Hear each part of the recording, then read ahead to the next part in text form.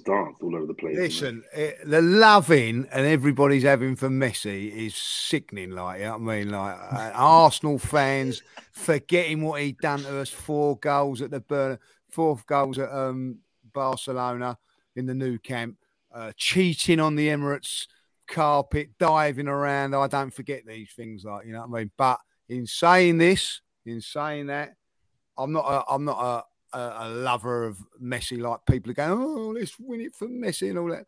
A couple of things today. I didn't like the way when the penalty shootout was done that he collapses on the floor and makes it all about him. But if Ronaldo does that, there'd be a like everybody be going mad about it.